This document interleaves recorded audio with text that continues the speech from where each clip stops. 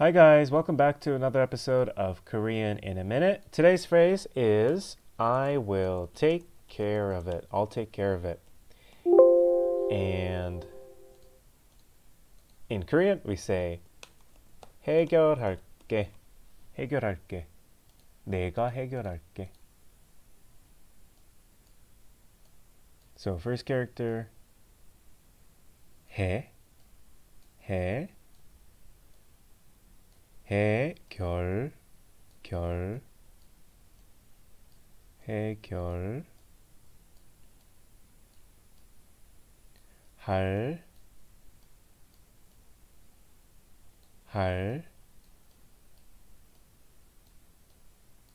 해결할 게, 해결할 게, 해결할 게. I'll take care of it. All right, hope you uh, enjoyed today's episode. As always, I will see you guys next time.